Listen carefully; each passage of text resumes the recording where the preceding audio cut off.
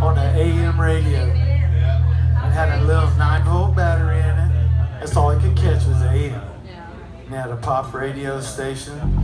And I heard this song on it. And I was like, wow, check this out. We're standing out on the street with the guys. Hey, check this out. Check this out. So this is some psychedelic stuff from the AM radio days.